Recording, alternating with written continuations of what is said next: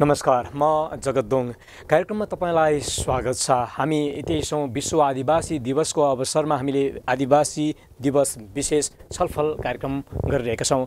यसै सन्दर्भमा हामीले नेपाल आदिवासी जनजाति महासङ्घ लगायत विभिन्न आदिवासी जनजाति विज्ञहरूसँग छलफल बहस गर्दै आइरहेका छौँ। यो साताव्यापी रूपमा नेपाल आदिवासी जनजाति महासङ्घको नेतृत्वमा नेपालमा पनि यो तेइसौँ विश्व आदिवासी दिवस अर्थात् अगस्त नौलाई विशेष पर्वको रूपमा मनाइरहँदा इन्डिजिनियस टेलिभिजनले पनि यो विषयमा हामीले लामो छलफल र बहस गर्ने जमर्को गरेका छौँ। विश्वमा अगस्त नौलाई विश्व आदिवासी दिवसको रूपमा विश्वका आदिवासी जनजातिहरूले अहिले मनाइरहेका छन्। यसै सन्दर्भमा नेपालका आदिवासी जनजातिहरूले पनि साताव्यापी रूपमा विभिन्न कार्यक्रमको आयोजना गरेर विश्व आदिवासी दिवस अहिले मनाइरहेको अवस्थामा इन्डिजिनियस टेलिभिजनले पनि यो छलफल र बहसलाई अगाडि बढाइरहेको छ। यसै सन्दर्भमा छलफलका लागि नेपाल आदिवासी जनजाति महासङ्घका सल्लाहकार सँगसँगै समाजशास्त्री डाक्टर कृष्ण भट्टचन आजको छलफलमा हामीले आमन्त्रण गरेका छौँ।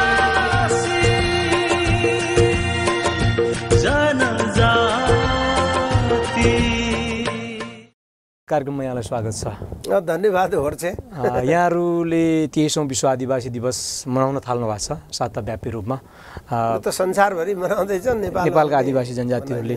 यो तेइस वर्ष भइसकेछ होइन? तपाईँहरूले नेपालमा पनि यो विश्व आदिवासी दिवस मनाउन थाल्नुभएको। यसलाई कसरी लिनु भएको छ? अथवा यो विश्व आदिवासी दिवसको कार्यक्रमलाई अथवा यो दिवसलाई समीक्षा गर्ने हो भने कसरी गर्नुहुन्छ सरले? अब यो छोटकरीमा भन्नु पऱ्यो भने के छ भने विश्व समुदायले आदिवासीहरूको सामूहिक अधिकारलाई स्वीकार गरेको धेरै भएको छैन। जस्तो अहिले विश्व आदिवासी वर्ष यसपालि अगस्त नौमा मनाइरहँदाखेरि विश्वभरि नै आदिवासी जनजातिको अधिकार सम्बन्धी संयुक्त राष्ट्रको घोषणापत्र जुन सन् दुई हजार सातमा संयुक्त राष्ट्रको महासभाले पारित गरेको थियो त्यसको दस वर्ष पनि एकैसाथ मनाइँदैछ होइन। त्यो भनेको के भने आदिवासी जनजातिको अधिकार सम्बन्धी घोषणापत्रमा आत्मनिर्णयको अधिकारसहित जातीय स्वायत्तता सुशासनसहित र स्वतन्त्र अग्रिम जानकारीको मन्जुरीसहित होइन? त्यो राजनैतिक अधिकारहरू राखेर त्यो सामूहिक अधिकार मानव अधिकार हो भनेर त्यो घोषणापत्रमा लिपिबद्ध भयो विश्व समुदायले स्वीकार गर्यो। र त्यसमा भएका कतिपय कुराहरू फेरि सन् अठा उन्नाइस सय उनानब्बेमा अन्तर्राष्ट्रिय श्रम सङ्गठनको महासन्धि नम्बर एक छ नौमा खास गरेर भूमि भूभाग स्रोतमा आदिवासी जनजातिहरूको स्वामित्व नियन्त्रणको अधिकार अब सहभागिता परामर्शको अधिकार अनि त्यस्तै गरेर यो प्रथाजन्य कानुनको अधिकार मातृभाषामा अधिकार शिक्षा स्वास्थ्य रोजगारीमा अधिकार अन्तर्देशीय सम्बन्धमा अधिकार आदिवासी ज्ञानमा अधिकार यी जुन राजनैतिक त हो तर ठ्याक्कै राजनैतिक भनेर नछुट्याइएका जुन अधिकारहरू हुन् त्यो त उन्नाइस सय उनानब्बेमै आइएलओले उन्नाइस सय सन्ताउन्नको जुन आदिवासीहरूलाई एउटा मेल्टिङ पटमा लाने खालको अथवा जो विदेशमा चाहिँ गोराहरू छ र अब नेपाल जस्तो ठाउँमा चाहिँ बाहुनवादीहरू जस्तै जुन बनाउन खोजेको थियो त्यसको ठाउँमा यो सामूहिक अधिकार र आदिवासीहरूको विशिष्ट पहिचान पृथक पहिचानलाई स्वीकार गरेर ती अधिकारहरू जुन दिएको थियो त्यो नै फेरि युएन रिपमा पनि अथवा अनरिपमा पनि जस्ताको तस्तै राखिएको छ केही परिमार्जनसहित अझ होइन? भनेपछि अब यसो हेऱ्यो भने उन्नाइस सय चौबिसमा पहिलोचोटि इरोकी आदिवासीहरूले विद्रोह गर्यो बाहिर क्यानाडातिर होइन? अमेरिकातिर।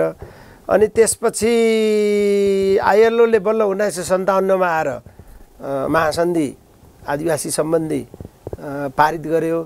तर त्यो चाहिँ फेरि व्यक्तिवादी व्यक्तिगत अधिकारमा केन्द्रित थियो। आदिवासीहरूको पृथक पहिचानलाई नष्ट गर्ने खालको थियो। त्यो कुरा बुझ्नलाई उन्नाइस सय उनानब्बेसम्म कुर्नु पऱ्यो होइन?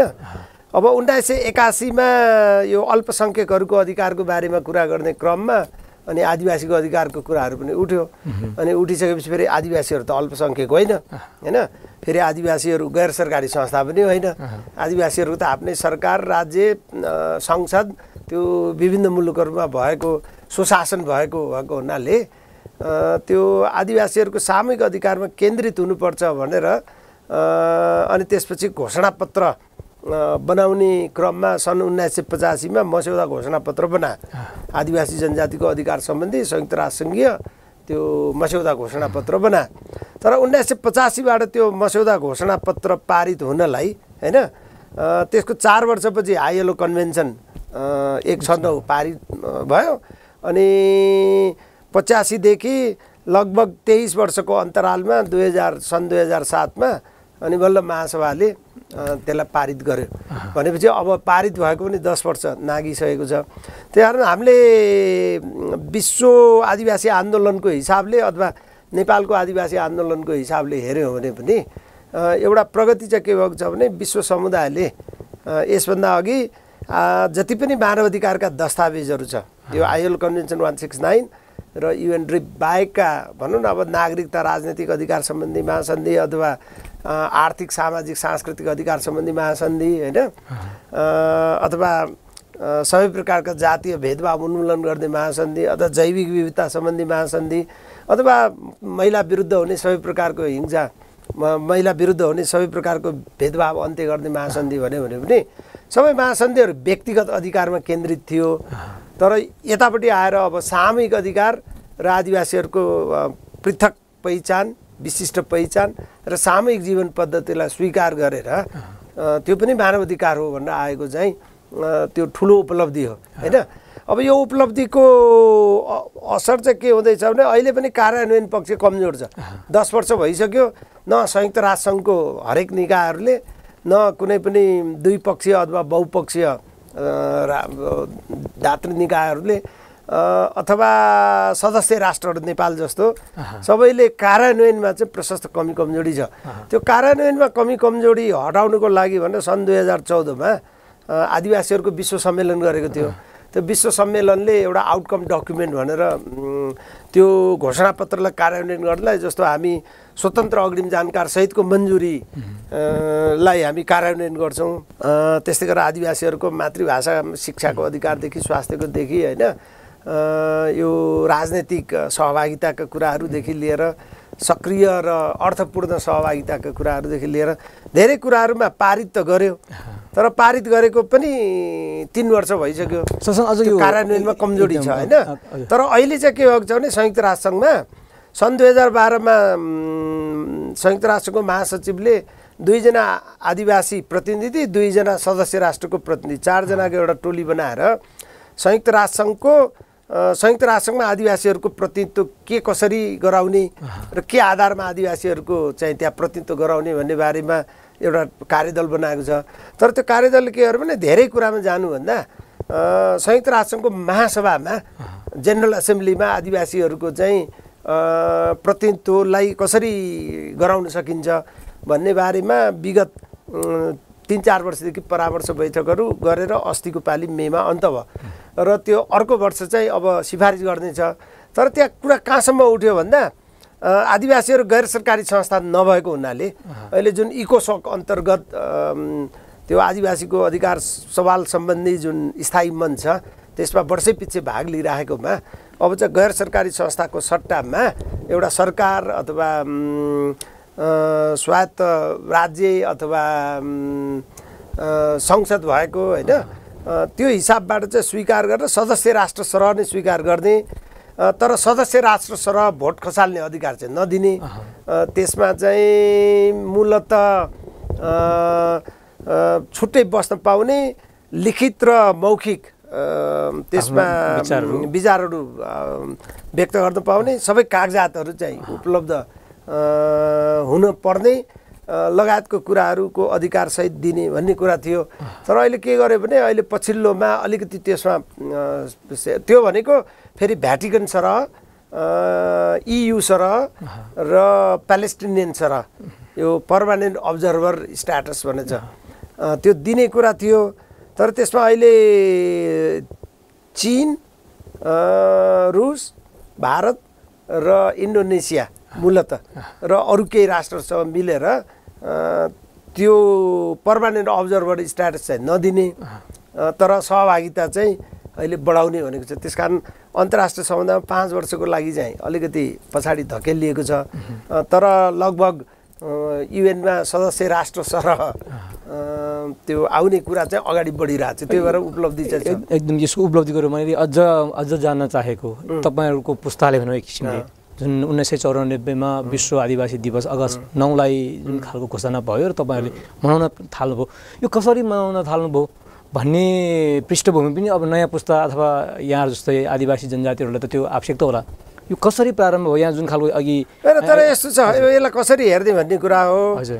जस्तो मैले नेवार साथीहरूसँग कुरा गर्दाखेरि त्यो पृथ्वीनारायण शाहले इन्द्र जात्रामा भोज खाएको दिन आक्रमण गर्यो। होइन? र कब्जा गरे त्यो बेलादेखि नै नेवारहरूले इन्द्र जात्राको दिनमा कालो झन्डा देखाउने प्रथा अद्यावधि रहेछ। धेरैलाई थाहा छैन कि? अद्यावधि छ। अब त्यो भनेको के भने आदिवासीको त्यो गुमेको अधिकारलाई आफूले लिनुपर्छ भन्ने सोचसहित त्यो त्यो चाहिँ हेर्दाखेरि नकारात्मक रूपमा तर लडाइँको हिसाबले सकारात्मक रूपमा त्यो आन्दोलनको कालो झन्डाको इतिहास त रहेछ नि त होइन? तर अब यता के भयो भने नेपालमा धेरै जसो विगत दुई सय पचास वर्षमध्येमा अधिकांश समय त अब कि पृथ्वीनारायण शाहको असली हिन्दुस्तानमा बित्यो होइन? कि त जङ्गबहादुरको एक सय भनौँ जङ्गबहादुरले स्थापना गरेको राणाहरूको एक सय चार वर्षको राणा शासनमा बित्यो। जहाँ कि मुलुक ऐनमै आदिवासीहरूलाई दोस्रो दर्जामा राखेर मतवालीमा राखेर होइन त्यसमा पनि यो दास बनाउन सकिने हैसियतका केही आदिवासी जनजातिहरूलाई छुट्याएर राखिएको थियो। अब राजा महेन्द्र आइसकेपछि चाहिँ तिस वर्षको पञ्चायत कालमा त एउटै राजा एउटै देश एउटै भाषा एउटै भेष भन्ने नाराबाट त्यो त आदिवासी जनजातिहरूलाई यताउता हल्ल नै दिएको थिएन। राजनैतिक अधिकारको त प्रश्नै थिएन। सामाजिक सांस्कृतिकमा मात्र केन्द्रित गरेको थियो होइन।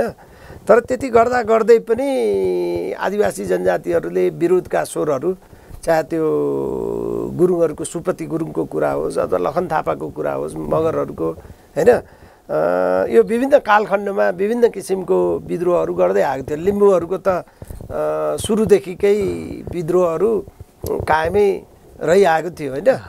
भनेपछि अब बहुदलीय व्यवस्था आइसकेपछि अलिकति खुला वातावरण आयो खुला वातावरण आएपछि आदिवासीहरूले सङ्गठित भएर जानेमा अब नेपाल त्यो त्यस बेलाको जनजाति महासङ्घ र जातीय संस्थाहरू अगाडि बढ्न थाल्यो होइन? हुन त थारू कल्याणकारी सभा त सन् दुई हजार छतिरै गठन भइसकेको थियो। त हाम्रो थकालीहरूको पोखरामा सन् दुई हजार एघारमै गठन भइसकेको थियो होइन? तामाङहरूको पनि धेरै पहिले गठन भएको थियो। तर त्योमा चाहिँ सामाजिक सांस्कृतिक क्षेत्रमा अलिअलि काम गर्न दिने बाहेक अरू राजनीतिक कुराहरू गर्न दिँदैन थियो। त्यो त छ्यालिस सालपछि अलिक खुला भयो महासङ्घ गठन भयो जातीय संस्थाहरू गठन भयो अनि आन्दोलन गर्ने कुराहरू सुरु भयो। तर त्यही बेलामा विश्व समुदायमा पनि के भयो भन्दाखेरि आदिवासीहरूले उन्नाइस सय उनानब्बेमा त आइएलओ कन्भेन्सन आइसकेको थियो। आदिवासीहरूको सामूहिक अधिकारलाई मानव अधिकारको रूपमा स्वीकार गरिसकेको थियो। होइन? भूमि भूभाग र स्रोतहरूमा स्वामित्व र नियन्त्रणको अधिकार प्रथाजन्य कानुनको अधिकार त्यसमा दिइ नै सकेका थियो। भन भनेपछि अब आदिवासीहरू विश्वभरि नै जो चाहिँ भनौँ न जल जङ्गल जमिनको कस्टोडियन हो होइन? जसले परापूर्व कालदेखि त्यसलाई जोगाउँदै आएको छ संरक्षण गर्दै आएको छ। अब त्यस्तो आदिवासी जनजातिहरूको जल जङ्गल जमिनमा गैर आदिवासीहरूले होइन कहीँ चाहिँ थ्योरी अफ टेरा नलियस भन्छ त्यो जमिन जो कसैको पनि होइन भन्ने सिद्धान्तको आधारमा कसैको पनि होइन भने त्यो राज्यको हुन्छ। त्यस्तै गरेर रेगलियन डक्ट्राइन भन्छ होइन यो जस्तो फिलिपिन्सको जग्गाहरू जम्मै स्पेनिस राजाको हुन्छ भन्ने खालको त्यो रेगलियन डक्ट्राइनको कुरा। अथवा आजकलको आधुनिक सरकारहरूले एमिनेन्ट डोमेन भन्छ त्यो विशिष्ट क्षेत्र भनेर कुनै पनि जग्गा जमिन राज्यले चाह्यो भने जति बेला पनि लिन सक्ने। यी कारणहरूले गर्दाखेरि धेरै आदिवासी जनजातिहरूले त्यो भूमि भूभाग र स्रोतहरू सबै गुमाउनु पुग्यो होइन? गुमाउनु पुगेको हुनाले अब यसमा के भयो भने धेरै सो आदिवासीहरू गरिबीमा गरिबीको दुष्चक्रमा फँसेको पनि देखियो अनुसन्धानहरूले देखाएअनुसार।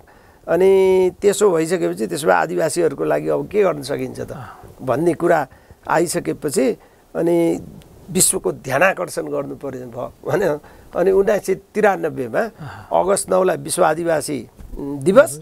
अनि उन्नाइस सय तिरानब्बेलाई पहिलो विश्व आदिवासी वर्ष। अनि त्यसपछि फेरि चौरानब्बेदेखि लिएर विश्व आदिवासी दशक अनि दशकमा चाहिँ जे गर्छु भनेको त्यो गर्दै कुरा चाहिँ भर्खर सुरु मात्रै भएको अन्त्यमा त्यो सुरु मात्रै भएको हुनाले फेरि दोस्रो दशक पनि आदिवासीहरूको लागि घोषणा गरियो। भनेपछि आदिवासीले त दुईवटा दशक संयुक्त राष्ट्रसङ्घ अन्तर्गत घोषणा भएर त्यो मनाएको अव- अवस्था हो। तर यति गर्दा गर्दै पनि आदिवासी जनजातिहरूले जति अधिकारहरू मानव अधिकारहरू निर्वाध उपभोग गर्न पाउनु पर्ने हो त्यो चाहिँ कुनै पनि सदस्य राष्ट्रहरूले अथवा विश्व समुदायले अझै पनि त्यो गर्न सकेको चाहिँ छैन। भनेपछि यसको उपलब्धिको र यहाँले अघि निकै लामो पृष्ठभूमिका साथ होइन स्पष्ट पार्नुभयो नि। यो बाइस तेइस वर्ष चौबिस वर्षको बिचमा यहाँहरूले निरन्तर रूपमा विश्व आदिवासी दिवस अथवा आदिवासीको आन्दोलन निरन्तर रूपमा नेपाललाई के भयो भन्नु होला एकदम उपलब्धि चाहिँ केही न केही त भयो भनेर नेपाललाई के भयो भन्नुलाई यो संयोग के छ भने म युनिभर्सिटी क्यालिफोर्निया बर्गलेमा त्यो फुल राइट छात्रवृत्ति पाएर पिएचडीको डिग्री सकेर नेपाल चाहिँ अगस्तमा फर्केका थिएँ होइन? अगस्त एक्काइसमा। अब त्यो बेला अगस्त नौ चाहिँ विश्व आदिवासी। दिवसको रूपमा घोषित थियो। अनि त्यो उन्नाइस सय तिरानब्बेको वर्ष चाहिँ विश्व आदिवासी वर्षको रूपमा थियो होइन? वर्षको रूपमा थियो। तर वर्षको रूपमा भए पनि त्यहाँ के भयो भन्दाखेरि नेपाल सरकारले त्यो बेला गिरिजाप्रसाद कोइराला नेपाली काङ्ग्रेसको प्रधानमन्त्री हुनुहुन्थ्यो। अनि उहाँले चाहिँ विश्व आदिवासी दिवस समिति एउटा बनाउनु भएको थियो। तर त्यसले केही काम गरेको थिएन। अनि पछि के भने त्यो वर्ष सिद्धिन लागेको थियो। डिसेम्बर दसमा नेपाल र एसियाली अनुसन्धान केन्द्र र समाज कल्याण मन्त्रालय दुइटा मिलेर आदिवासीहरूको परिभाषा पहिचान समस्या र समाधान भनेर एउटा गोष्ठीको आयोजना गरेको थियो। त्यसमा मेरो कार्यपत्र चाहिँ आदिवासीको पहि परिभाषा र पहिचान कसरी गर्ने भन्ने बारेमा थियो। त्यसबेला कमेन्ट मेरो कार्यपत्रमा टिप्पणी गर्नेहरूमा हाम्रो प्रोफेसर नोबल किशोर राई र नेपाली काङ्ग्रेसको नेता के अरे ऊ हुनुहुन्थ्यो। दुईजना हुनुहुन्थ्यो होइन? नेपाली काङ्ग्रेसको एकजना नेता हुनुहुन्थ्यो। अनि उहाँहरूले कमेन्ट गरिसकेपछि त्यसले केही बहसहरू अगाडि ल्यायो अब ल्याइसकेपछि उन्नाइस सय तिरानब्बे त सिद्धियो। तिरानब्बे त सिद्धियो। तर आदिवासीको बहस चाहिँ त्यहाँबाट सुरु भयो। अधिकारको महासङ्घले एकातिर काम गर्दै थियो होइन? अनि उन्नाइस सय छ्यानब्बेमा पुगेपछि के भयो भने आदिवासीको लागि एउटा विकास समिति बनाउनु पर्छ भन्ने भएपछि त्यो विकास समिति बनाउनुको लागि एउटा कार्यदल गठन गर्यो। आदिवासीको परिभाषा पहिचान र त्यो मस्यौदा विधेयक बनाउने भनेर। त्यसमा प्रोफेसर सन्तबहादुर गुरुङको संयोजकत्वमा म लगायतको साथीहरू एउटा टोली बसेपछि अनि त्यसबाट चाहिँ हामीले प्रतिवेदन बुझाइसकेपछि कमसेकम आदिवासीको परिभाषा र त्यो पहिचान त्यो बेला एकसट्ठी थियो। एकसट्ठी आदिवासीको पहिचान भएको थियो। त्यो कुरा नेपाल सरकारले स्वीकार गरेर अनि एकसट्ठी पहिचान भएको एकसट्ठी आदिवासी जनजातिको लागि तर परिभाषा नदिकन गठनादेश जारी गरेर त्यो समिति गठन भयो। अनि समिति गठन हुने बेलामा आदिवासीको लागि मात्र भएन उपेक्षित उत्पीडित भनेर दलितहरूको लागि पनि त्यस्तै प्रकारको एउटा समिति बनाइदिएको थियो होइन? दुईवटा समिति बन्यो।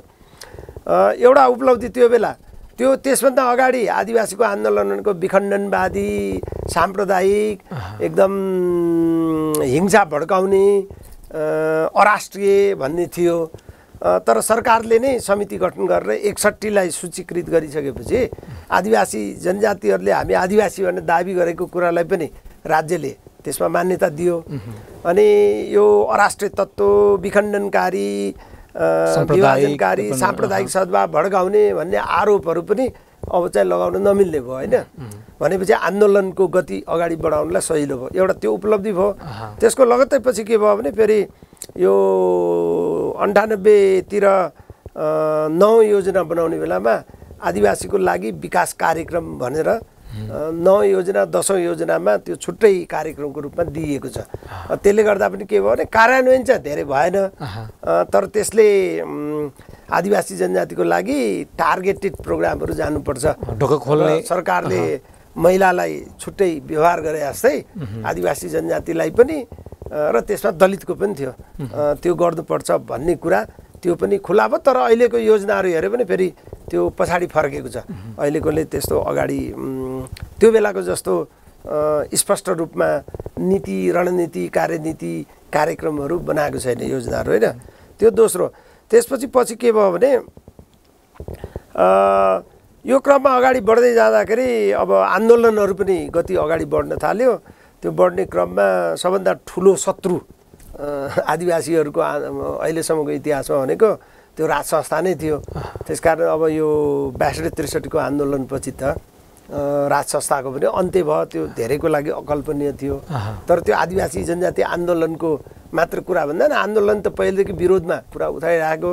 तर त्यो बेलाको राजनैतिक दलहरू होइन र सबै सम्पूर्ण नेपाली जनताहरूको प्रयासबाट त्यो अन्त्य भएपछि आदिवासी जनजातिहरूको लागि एकदम ठुलो राहतको कुरा आयो। किनभने राजतन्त्रको छत्रछायामा हिन्दू धर्म र संस्कृतिको पेलानमा होइन आदिवासी जनजातिहरूको सामूहिक पहिचान चाहिँ नष्ट भइसक्ने नष्ट हुने क्रममा र एकदम ओह्रालो लाग्ने क्रममा जुन थियो कमसेकम त्यो एउटा संस्था गयो।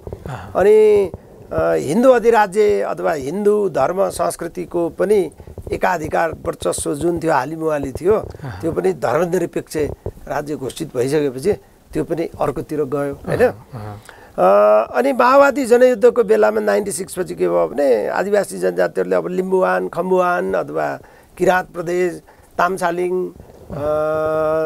मगरा तमुवान थरुवट शेर्पा प्रदेश भनेर जुन खोजिरहेको थियो आफ्नो माग गरिरहेको थियो त्यसको सामाजिक सांस्कृतिकमा केन्द्रित थियो आन्दोलनमा।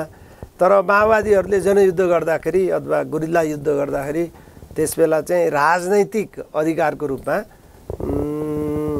आत्मनिर्णयको अधिकार त्यो पनि छुट्टिन पाउने अधिकारसहित यो जातीय राज्यहरूको हामी स्थापना गर्छौँ भनेर माओवादीहरूले जनयुद्ध सुरु गरेपछि थारू मगर लगायत आदिवासी जनजातिहरू एकदमै धेरै सक्रिय सहभागिता त्यसमा जनायो र राज्य पक्षबाट मारिनेमा धेरै आदिवासीहरू पनि मारिए होइन? त्यस कारण त्यसलाई एउटा विश्व समुदायमा ध्यान आकर्षण हुने गरी एउटा राजनैतिक मुद्दाको रूपमा त स्थापित भयो। अहिलेसम्म त त्यो उपलब्धि त हासिल भएको छैन। माओवादीहरू सरकारमा गए पनि अथवा संविधान बनाउनेमा निर्णायक एमाले र काङ्ग्रेससँग निर्णायक भूमिका रहे पनि त्यो नभए पनि एउटा मुद्दाको रूपमा राजनैतिक मुद्दाको रूपमा र त्यो जायज मुद्दा हो भन्ने रूपमा त स्थापित भएर रह्यो होइन? अब यी विभिन्न कुराहरूको दृष्टिकोण अनि फेरि यो आरक्षणका कुराहरू जस्तो संविधान सभाको पहिलो संविधान सभाको लागि चुनाव गर्ने बेलामा कमसेकम जातीय जनसङ्ख्याको आधारमा लैङ्गिक जनसङ्ख्याको आधारमा र क्षेत्रगत जनसङ्ख्याको आधारमा समानुपातिक चुनावको कुरा आए पनि अब आदिवासी जनजाति आन्दोलनसँग सरकारले गरेको सहमतिमा प्रथम हुने निर्वाचित हुनेमा चाहिँ उम्मेदवारी दिनेमा मात्रै सकभर समावेशी समानुपातिक बनाउने कुरा आयो तर त्यसले नतिजा त उही बाहुन छेत्री नै बढी ल्यायो होइन? त्यो पनि पुरुषहरू। तर यतापट्टि समानुपातिकमा चाहिँ आदिवासीहरूको लागि अडतिस प्रतिशत त्यहाँ कोटा छुट्याइयो र आदिवासी आधा चाहिँ आदिवासी पुरुषलाई आधा आदिवासी महिलालाई गर्दाखेरि त्यो एउटा उपलब्धिको रूपमा त्यो पनि देखियो। तर तर त्यो चाहिँ फेरि उपलब्धि हेर्दा उपलब्धि जस्तो देखियो। तर त्यो समानुपातिकमा त फेरि पार्टीको उम्, अ, तोम सडम गराउने आदिवासीको मुद्दाभन्दा पार्टीको मुद्दालाई मात्र अगाडि बढ्न लगाउने गरेकोमा पहिलो संविधान सभाको सभासदहरूले चाहिँ त्यसमा विद्रोह गरेर अनौपचारिक रूपमा ककस बनाएर आन्दोलनलाई एकदम उत्कर्षमा पुर्याउनु भयो। तर दोस्रो संविधान सभामा जाँदाखेरि चाहिँ पार्टीकै उम्, गोपी कृष्णको पट्टुहरूले मात्रै त्यसलाई भरेको हुनाले त्यसको पनि दुरुपयोग बढी भयो। अनि अर्कोतिर फेरि निजामती सेवामा यो पैँतालिस प्रतिशत जुन सिटहरू आरक्षण गरेको छ त्यसमा आदिवासी जनजातिको लागि पनि जुन आरक्षण गरेको छ त्यसबाट केही आदिवासी जनजातिहरूको लागि त्यहाँ भित्र पस्ने मौका चाहिँ उपलब्ध भयो। त्यस्तै गरेर शिक्षा क्षेत्रमा पनि केही आरक्षणको तर यी सबै कुरा झिना मसिना। यी यो यो यो यो जति पनि उपलब्धि सरले भन्नुभयो नि अहिले यी उपलब्धिहरूसँग यो विश्व आदिवासी दिवससँग के सम्बन्ध राख्छ के सम्बन्ध छ? ए होइन यस्तो छ। अब विश्व आदिवासी दिवससँग जोडे पनि भयो नजोडे पनि भयो होइन? अधिकारको कुराहरू त त्यो विश्व आदिवासी दिवस भयो भने दिने। दिवस छैन भने नदिने भन्ने कुरा त हुँदैन। तर अब विश्व आदिवासी दिवसहरू मनाउने सिलसिलामा ध्यानाकर्षण त भइराख्ने भयो। भनेपछि त अब राज्यले सरकार पक्षले अथवा पार्टीहरूले गर्यो भने पनि हामी त्यही जे कुरा मनाइरहेको छौँ त्यो बनाएको कुराप्रति प्रतिबद्ध छौँ भन्ने हिसाबले गरेको देखाउने नि भयो होइन? र उपलब्धिहरू त त्योभन्दा पहिले भन्दा त अहिले केही केही उपलब्धिहरू देखिन थाल्यो। तर मेरो विचारमा चाहिँ मलाई के लाग्छ भने यो यति झिना मसिना उपलब्धिहरू हुन् कि अब हेऱ्यो भने सकारात्मक लाग्छ। तर तपाईँले खोजेको चाहिँ आत्मनिर्णयको अधिकार। अनि स्वायत्तता जातीय स्वायत्तता जातीय सुशासन अनि स्वतन्त्र अग्रिम जानकारी सहितको मन्जुरी नलिकन कुनै पनि कानुनी प्रशासनिक काम कारबाहीहरू आदिवासीको ऐतिहासिक थापथलोभित्र गर्न पाइँदैन अहँ। भन्ने कुराहरू अनि प्रथाजन्य कानुनहरू निर्वाध रूपमा अगाडि बढ्न दिनुपर्छ भन्ने कुराहरू होइन? अब यी सबै कुराहरू त एकदम आदिवासीहरूको आधारभूत अधिकारको कुरा हो मानव अधिकारको कुरा हो। तर यो कुराहरू चाहिँ त्यो ठुलो पहाड जस्तो छ। होइन? तर त्यसलाई चाहिँ अहिलेको दुई हजार पन्ध्रको संविधान अहिलेको विद्यमान संविधानले त त्यो देख्दै देख्दैन। किनभने अहिलेको विद्यमान संविधान चाहिँ हिटलरको शैलीको खस आर्यलाई नस्लीय एकदम उत्कृष्टता मानेर होइन? अनि खस आर्यको चाहिँ जहाँ चाहिँ सुनिश्चित गर्ने परिभाषित पनि गर्ने खस आर्य भनेको को हो भन्ने। अनि आदिवासी जनजाति दलित मधेसी एलजिबिटिआई अन्ध अपाङ्ग भनौँ न अपाङ्गता भएकाहरू लगायतको चाहिँ त्यसमा कुनै खालको सुनिश्चितता नगर्ने जुन देखिएको छ। अब त्यो त एकदम डरलाग्दो रूपमा छ। भनेको तपाईँ एउटा दुइटा रुखमा चाहिँ एउटा दुइटा हाँगामा एउटा दुइटा फल चाहिँ लगाएको देखाइदिने अनि जङ्गल चाहिँ पुरा सखाप गरिदिने गरेपछि त त्यसो त कुनै पनि अर्थ हुँदैन। त्यस कारण यो चाहिँ मलाई के लाग्छ भने जे जति कामहरू भइरहेको छ त्यो धेरै जसो डिभाइड एन्ड रुल के? अनि अलिअलि ललिपप खुवाइदिने अनि त्यसैमा अल्मलाइदिने अब गरेका छैन भने भने गरेको छ गरेको छ भने पनि केही पनि गरेको छैन। भनेपछि यो बाइस तेइस वर्ष चौबिस वर्ष त मनाउन थालेकै। होइन अब भइसकेको अवस्था बितिसकेको अवस्थामा। त्यो उपलब्धि तर मलाई उपलब्धि एउटा एकदम ठुलो उपलब्धि चाहिँ के लाग्छ भने तपाईँले यो अब उत्थान प्रतिष्ठान गठन भयो त्यो उपलब्धि भन्नु भने त्यो अब खारेज गर्ने कुराहरू आइरहेको छ बजेट कटौती गरेर आयो भने पनि त्यसको केही अधिकार छैन बनायो भने पनि त्यो कहिले आयो अनि गयो भइहाल्छ। त्यो रिजर्भेसनको कुरा पनि सरकारको प्रतिवेदनहरूमा यो अ, जातीय आधारमा होइन मेरिटकै आधारमा गर्नुपर्छ भने अब मेरिट भनेको जाति आफै पनि मेरिट हो। तर उहाँहरूको चाहिँ नकारात्मक सोचहरू छ कि? भनेपछि सबै कुरा उल्टो आधारमा गइरहेको छ। अहिले संविधानको अनुसार त आदिवासी जनजातिले पाउनेवाला केही पनि छैन। तर मैले देखेको सबभन्दा ठुलो उपलब्धि अहिले जस्तो म आफै उन्नाइस सय तिरानब्बेबाट फर्केर मैले उन्नाइस सय चौरानब्बेमा नेपाल र एसियाली अनुसन्धान केन्द्रले आयोजना गरेको एउटा सेमिनारमा एउटा कागजपत्र चाहिँ एथेनोपोलिटि emerging ethnopolitics and ethno development in Nepal भनेको थियो. यो जुन उब्रदो हो जातीय राजनीति र अ, जातीय विकासको अ, खाका भनेर मैले जुन राखेको थिएँ अब त्यसमा चाहिँ सबैले विरोध गर्थ्यो। यो नेपालमा कहिले हुनेवाला पनि छैन न पहिले थियो न अहिले छ न पछि हुन्छ। यो कुनै पनि हालतमा हुँदैन भने त्यो बेला सबै बौद्धिक वर्गले भनेको होइन? तर त्यो इमर्जिङ भनेको कुरा त माओवादी जनयुद्ध सुरु भएको दुई वर्षपछि त राष्ट्रिय राजनीतिबाट अन्तर्राष्ट्रिय तहसम्मै प्रचारित हुने गरेर त्यो जातीय राजनीतिको कुराहरू त अगाडि आयो होइन? भन्दाखेरि अब त्यो बेला बौद्धिक क्षेत्रबाट बाहुनवादको विरोध गर्ने अनि पितृसत्ताको विरोध गर्ने होइन?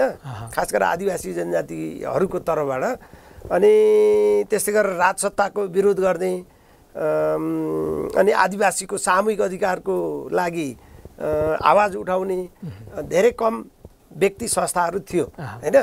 अब त त्यो बेला चाहिँ धेरै कम मान्छेहरू विभिन्न कार्यक्रमहरूमा पनि हुन्थे आउँथे सहभागी हुन्थे। तर अहिले हेऱ्यो भने अब यो यति धेरै त्यो हामी न्यारेटिभ भन्छ नि सङ्कथन। त्यो बेलाको सङ्कथन चाहिँ केही व्यक्ति केही संस्थाहरूले मात्रै बोक्यो। तर अहिले त्यो सङ्कथन चाहिँ केही व्यक्ति होइन धेरै व्यक्तिहरू र केही संस्था होइन धेरै संस्थाहरूले बोकेको छ। त्यो आदिवासीकोले मात्र होइन फेरि होइन? अहिलेसम्म आइपुग्दा गएर आदिवासीहरूकै पनि भनौँ न राजनीतिक दलहरूमा नेकपा माओवादी नै भनौँ न उसले पनि बोक्यो होइन? अब काङ्ग्रेस र एमाले पनि केही न केही त उसले भन्- भन्न बोल्न उसको घोषणापत्र निस्क्यो भने राख्न त बाध्य त छन्। यो चुनाव चुनावलाई पनि लिन लिन सकिने होला होइन? होइन? अनि अब पहिला त्यो सङ्कथनहरू मरेर जाला भन्ने डर थियो किनभने राजा महेन्द्रको एउटै राजा एउटै देश एउटै भाषा एउटै भेष नीति सफल भएको भए त सायद सबै सिद्धिएर पनि जान्थ्यो होला। तर अब जहिलेसम्म सङ्कथन बाँकी रहन्छ तहिलेसम्म त्यो त बिउ हो। त्यो बिउबाट फेरि रुख झाँगिएर त्यो जङ्गल चाहिँ जहिले पनि हुनसक्छ। होइन? तर सरले यो यो भावनात्मक कुरा पो हो यो? यो भावनात्मक होइन, एकदम यो अहि- अहिले एकदम यो आदिवासी आन्दोलनलाई हेर्ने हो समीक्षा गर्ने हो भने। एकदम निकै कमजोर भएको। अनि संविधानमा सम्बोधन नभएको भन्ने पनि कुरा उठिरहँदा उठाइरहँदा धेरै सुने। मैले त्यो अन्नपूर्ण पोस्टको नेपाल टुडेमा साथीहरूले आएर मसँग कुरा पनि गर्नुभएको थियो।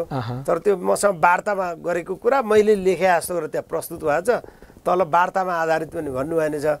मैले भनेको कति तथ्यहरू त्यहाँ बुझेर नबुझेर त्यो ठिक तरिकाले राख्नु भएको रहन्छ होइन?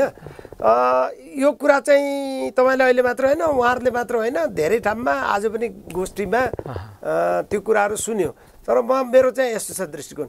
आदिवासी आन्दोलन सुतेको छैन। यो जागृत भएको छ झन्झन झन्झन यसले ऊर्जा चाहिँ लिइरहेको छ। तर अहिले भएको के हो भने तपाईँ गाउँघरमा त्यो पात पतिङ्गरहरू जलाउने बेलामा सुकेकोहरू वार्रै बल्छ। होइन? पराल त एकचोटि बाल्यो भने वार बल्छ वाचै निभेपछि चुरोट सल्काउन नि मिल्दैन। तर त्यो हरियो सुकेको घाँसपातहरू सबै थुपार्दाखेरि सुरुमा अलिकति बालिन्छ त्यो सुकेको जति बलेपछि अनि त्यहाँ चाहिँ हरियो जतिले छोपिन्छ। अनि छोपिसकेपछि के हुन्छ भने पहिला त वार वार बल्या थियो होइन? आदिवासी आन्दोलन बलेको देखाएको थियो पहिलो संविधान सभासम्म। अनि अहिले चाहिँ छोपिएको देखियो। अब छोपिएकोमा के हुन्छ भने त्यो हरियो पातहरू डाँठहरू हाँगाहरूले छोपिएपछि त्यो भित्रको तातो त कहीँ पनि जाँदैन। पहिलो संविधान सभासम्म जति तातो निस्किसकेका छ त्यो तातो त हराउनेवाला छैन। तर त्यो तातोले के गर्छ भन्दा अब त्यो हरियोलाई पनि खाँदै खाँदै खाँदै अनि धुवा आउँछ। बेसरी धुवा आउँछ आँखाबाट आँसु आउँछ अनि धुवा आइसकेपछि अनि त्यो तताएर भित्रभित्र भित्रभित्र खाइसकेपछि अनि एउटा पोइन्टमा एउटा चरणमा आइपुग्दा त्यो सबै वारवार्ती बल्न थाल्छ। कि त्यहाँ आदिवासी आन्दोलन चाहिँ मलाई लाग्छ अहिले त्यो छोपिएको अवस्था, चरणमा छ। तर त्यो छोप्यो कसले भन्दा एउटा आदिवासीहरू आफैले पनि छोपेको छ। त्यो कसरी छोपेको छ भन्दा आदिवासीहरूको तल्लो तहमा समुदायमा भएको आम आदिवासी जनजातिहरूलाई विभेदको दिनले नै भोग्नु परेको त्यो पीडाको चाहिँ अनुभूति छ र त्यो किन भएको कसरी भएको भन्ने बारेमा अहिले पहिलाभन्दा अहिले धेरै त्यो आँखा खुलिसकेका छ। तर कुरा के छ भन्दा त्यो सबै शक्तिलाई ऊर्जालाई एक ठाउँमा नेपालको पानी जस्तै त्यो पानीलाई जलविद्युतमा बदल्ने हो भने त त्यो त कुलो बनाएर अनि जलविद्युत गृहमा लगेर त्यो मिसिनबाट निकालिसकेपछि पानी झारेपछि अनि बत्ती झलमल्ल बल्ने हो। यहाँ चाहिँ के भयो भने त्यो जुन मिसिन जलविद्युत गृह जलविद्युत गृह भनेको नेपाल आदिवासी जनजाति महासङ्घ। अनि विद्युत बनाउने मसिन भनेको महासङ्घको अध्यक्ष महासचिवहरू। अब उहाँहरू चाहिँ लोभी पापी भएर व्यक्तिगत स्वार्थमा लागेर नेपाली काङ्ग्रेसले दिएको सभासदको त्यो माछालाई खुवाएको त्यो बल्छीसँग मिसाएको सानो माछा क्वाप्राका खाइदिने। एमाले खुवाएको चाहिँ महासचिवले क्वाप्लाका खाइदिने होइन? अनि त्यस्तो गरेको हुनाले अनि हामीले आन्दोलनमा भाग लिने होमिने अधिकारको लागि लड्ने भनेको त त्यो सबै उनीहरूलाई सभासद बनाउन अनि पार्टीलाई लगेर तोमछरणम गराउनलाई त होइन। भनेपछि हामी किन लाग्ने भनेर त्यो सडकमा नलागेको देखिएको मात्रै हो। तर त्यो ऊर्जा चाहिँ भित्रभित्र त्यो आइरहेको छ।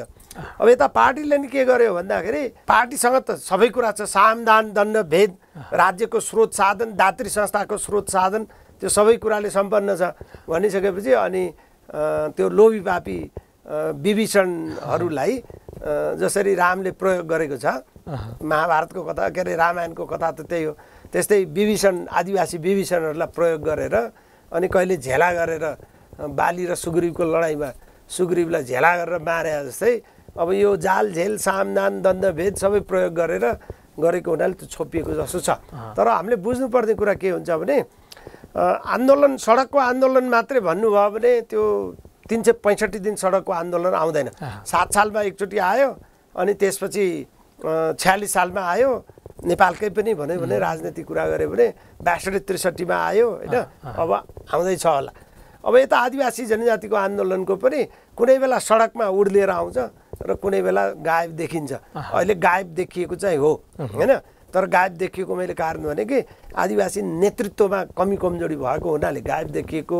यदि नेतृत्व चाहिँ विश्वसनीय आयो भने जस्तो मैले नेपाल आदिवासी जनजाति महासङ्घ साथीहरूलाई भन्ने गर्छु तपाईँहरू कि चाहिँ पार्टीकोमा जानुहोस् महासङ्घलाई छोडिदिनुहोस्।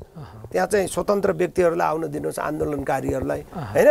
कि आफै स्वतन्त्र रूपमा आन्दोलन गर्छु भनेर बस्नुहोस् पार्टीको सबै त्यो पार्टीबाट आफ्नो चाहिँ सम्बन्धलाई विच्छेद गरिदिनुहोस् अब यो दुइटा गरेन भने अरू बाँकी आम आदिवासी जनजातिले कसरी पत्याउने कसरी विश्वास गर्ने? तर राजनीतिसँग त्यो निरपेक्ष कोही हुन सक्ला सर त्यसो हुँदाखेरि फेरि यस्तो छ। विश्व आदिवासी आन्दोलनको अनुभवले एकदम प्रष्ट रूपमा देखाएको के भने गैर आदिवासी जनजातिहरूले गरेको आन्दोलन।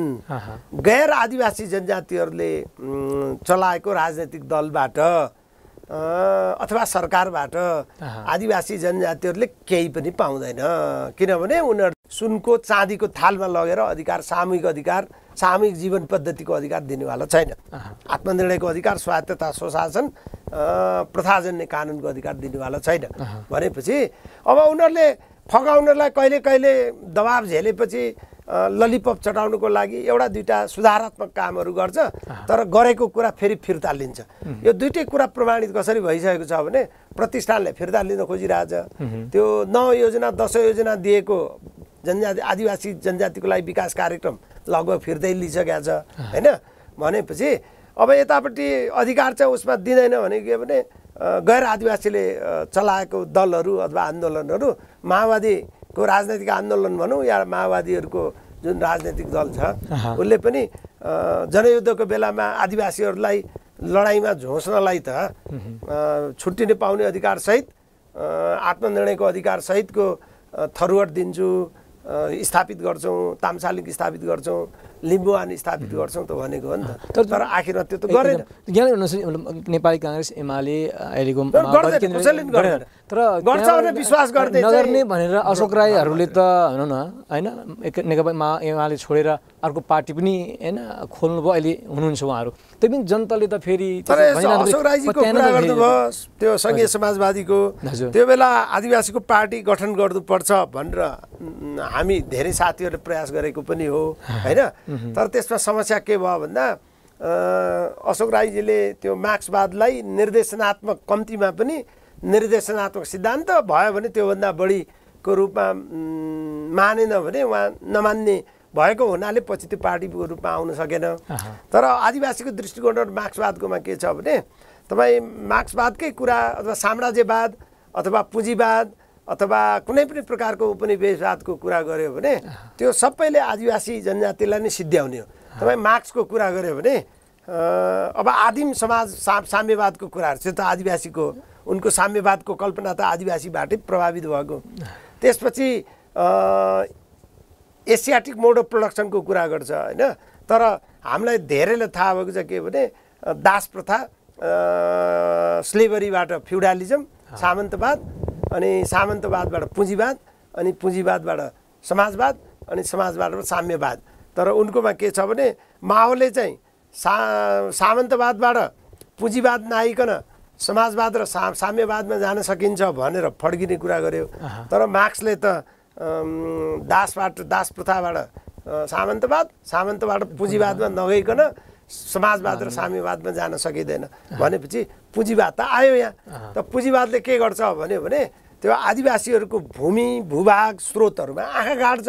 किनभने आदिवासीहरूले पृथ्वी माता हो आमा हो। आमाकोले जति दिन्छ त्यति मात्र लिने हो। आफू आफूलाई जति चाहिन्छ त्यति लिने हो। लोभ गरेर बढी लिनु हुँदैन। त्यसो गऱ्यो भने पृथ्वीलाई ज्वरो आउँछ गाह्रो हुन्छ भन्ने छ। तर अब यो पुँजीवाद साम्राज्यवाद उपनिवेशवादको काम चाहिँ त्यो दोहो नै गर्ने हो। मैले मैले त- अशोक राईको त मैले उदाहरण मात्र एउटा होइन, मैले दिएको। भनेको धे- धेरै पार्टीहरू छन्? तर त्यो हुँदा हुँदा पनि सरसँग छलफल यो बहस गरिरहँदाखेरि फेरि अहिले दोस्रो चरणको अथवा पहिलो चरणको स्थानीय तहको निर्वाचनको कुरा गर्ने हो भने फेरि यहाँहरूले जे जे भन्नुभएको छ काङ्ग्रेस एमाले माओवादीलाई पार्टीलाई नै एकदम यस्तो हुन्छ। छानेको अवस्था सुन अमेरिकामा पनि। तब तब तपाईँले अब जसले यस्तो भन्नुहुन्छ उहाँहरूको विचार यो हो कि होइन मलाई थाहा छैन कि यो हो भने चाहिँ गलत हो। अमेरिकामा कहिले रिपब्लिकनले जित्छ कहिले जित्छ कहिले डेमोक्राटले जित्छ। अब अस्ति डेमोक्राट थियो अहिले रिपब्लिकन भयो होइन? त अमेरिकनहरू सबै जनताहरू कि रिपब्लिकन मात्रै कि डेमोक्राट मात्रै हुँदैन। है कि? भोट दिने तिनै जनता हुन् केही लाख मान्छेहरू प्रतिबद्ध त्यो टिकट लिने सदस्यता लिने त्यसमा लागि पर्ने होल टाइमर अथवा पार्ट टाइमरहरू चाहिँ पार्टीका सदस्य होलान्। होइन? तर बाँकी आम जनता चाहिँ न रिपब्लिकन न डेमोक्रेट। उनीहरूले त आफ्नो सवाल चाहिँ कहाँनिर कसले बढी? सम्बोधन गर्छ उसैलाई समर्थन गर्ने भन्छ चुनावको बेलामा। उसले त्यही अनुसार भोट हाल्छ। होइन? त्यस कारण यहाँ पनि त्यो सबै नेपाली काङ्ग्रेस सबै एमाले सबै माओवादी त होइन नि। जे नेपाली जनता त। त्यो कहिले माओवादीलाई जिता कहिले काङ्ग्रेसलाई जिता कहिले एमालेलाई जिता। अब जसले उसको समस्या समाधान गर्छ भन्छ उसलाई जिताउने नेपालमा जसलाई जिताए पनि त्यसले समाधान गर्दैन। होइन? अनि विकल्प पनि छैन। विकल्प पनि छैन। भनेपछि अहिलेको अवस्था कस्तो हो भने स्थानीय चुनाव संविधान त मधेसीहरूको टाउको र छातीमा थारूहरूको टाउको र छातीमा गोली हानेर आदिवासी जनजाति मधेसीहरूले बत्ती निभाएर होइन आन्दोलन गरेर विरोध गरिराखेकै अवस्थामा भारत सरकारले पनि स्वीकार नगरिसकेको अवस्थामा आएको त हो नि त। विश्व समुदायले पनि स्वीकार नगरेको अवस्था आएको त हो भने यो जबरजस्ती आयो तर आउँदैमा सबैले स्वीकार गरेर त छैन नि त होइन। अब त्यो संविधानै पुनर्लेखन गरिनुपर्छ। आदिवासीको अधिकार सम्बन्धी संयुक्त राष्ट्रसङ्घ घोषणा पत्र र भनौँ न ILO convention one six nine जुन नेपाल पक्ष राष्ट्र हो यहाँको कानुनहरू बाजियो भने त्यो अन्तर्राष्ट्रिय महासन्धि लागू हुन्छ कानुन चाहिँ खारेज हुन्छ। अब त्यस्तो अवस्थामा यहाँ केही पनि नहुनु भनेको त त्यो त संशोधन भनेको टाउकोदेखि पुच्छरसम्म संशोधन नगरी हुँदैन होइन? पुनर्लेखन भने पनि भयो त्यो। त्यो नगरेसम्म अथवा त्यो दुइटै पुनर्लेखन संशोधन भनेन भने पनि नेपाल जुन पक्ष छ अन्तर्राष्ट्रिय कानुनको त्यो कानुन अनुसार त मूल कानुन र कानुनहरू आउनु पऱ्यो नि त। भनेर भन्दा अब त्यो गर्नको लागि त्यो गर्नको लागि नेपाल सरकार तयार छ त भन्यो भने नेपाल सरकार राजनीतिक दलहरू त तयार छैन। होइन? तर आम जनताको लागि के छ अब दिनदिनै आन्दोलनमा त होमिन सक्दैन। तिन सय पैँसठी दिन त लाग्न सक्दैन। तिन सय पैँसठी दिन लाग्यो अरे त्यो वर्ष होला अर्को वर्ष जाला अर्को वर्ष जाला अनि कति वर्ष जाने भन्दाखेरि जुन बेला निर्णायक बेला आउँछ त्यो बेला जनता सडकमा उत्रन्छ। त्यो त हाम्रो नेपालको मूल प्रवाहको राजनीतिकमा पनि। कथित मूल प्रवाहको राजनीतिमा त्यही भएको हो नि त। आम जनता त जति बेला नि सडकमा त आउँदैन नि त। राजा ज्ञानेन्द्र अथवा वीरेन्द्रको पालामा पनि राजालाई हटाउनलाई त एकैचोटि सडकमा त आएको होइन नि। तर जुन बेला आयो आउने बेलामा त काठमाडौँमा मुलुकको विभिन्न भागमा त सडक बजार त छ्यापछ्याप्ती भरिएको थियो नि त होइन। तर आदिवासीको हकमा नि के भने अहिले चुनावको बेलामा आयो अब कुनै न कुनै रूपमा असर गरिहाल्छ। बरु आफ्नो विमति रहे पनि साह्रै खराबी गर्ने मान्छेहरू चाहिँ सकबाट नआओस् होइन? तीमध्येमा खराबहरू मध्येमा कुन चाहिँ अलि असल छ त्यो चाहिँ आओस्। तर ऐन मौकामा चाहिँ जे गर्नुपर्छ त्यो चाहिँ गर्न हामी तयार छौँ भन्ने हिसाबबाट अगाडि आएको जस्तो लाग्छ। त्यो कि सरसँगको यो छलफल बहस अझै पनि नेपालको आदिवासी जनजातिको आन्दोलनको बारेमा अझै पनि अरू बेला हामी छलफल गरौँला। अहिले जुन खालको तेइस चौबिस वर्षदेखि निरन्तर रूपमा यहाँहरूले विश्व आदिवासी दिवस अथवा आदिवासी जनजातिको अधिकारको लागि जुन ढङ्गले छलफल बहस अथवा आन्दोलन गरिरहनु भएको छ यहाँले भन्नुभएको छ धेरै उपलब्धिहरू होइन अझ म एउटा उपलब्धि भनौँ त्यो उपलब्धि न, कहिले कस्तो हुन्छ भने फोटो खिच्दाखेरि राम्रो फोटो आउनलाई राम्रो नेगेटिभ आउनुपर्छ क्या त्यो नेगेटिभ राम्रो आएको छ भने फोटो राम्रो आउँछ।